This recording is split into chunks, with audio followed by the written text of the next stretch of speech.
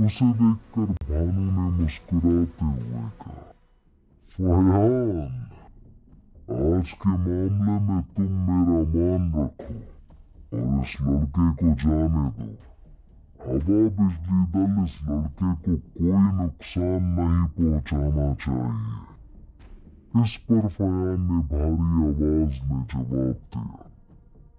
ये मामला इस लड़के और हवा बिजली दल के बीच का है अगर महाशक्ति पूर्वज भानु इसमें आना चाहेंगे तो दोनों महादलों के रिश्तों पर इससे काफी फर्क पड़ेगा याद रख लीजिएगा लेकिन फयान की धमकी से भरी बात का जवाब भानु ने भी धमकी के साथ ही दिया अगर इस लड़के को आज कुछ भी हुआ तो दोनों महादलों के Takeshi